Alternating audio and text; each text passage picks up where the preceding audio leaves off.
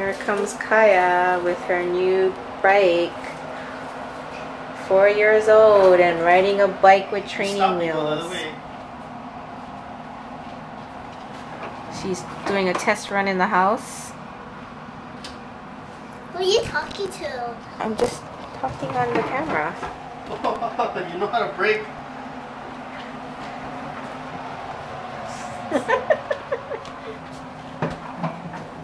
Could you keep snapping it?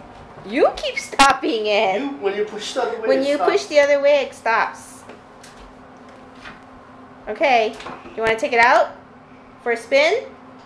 What? You want to take it outside for a spin? Yeah. Okay.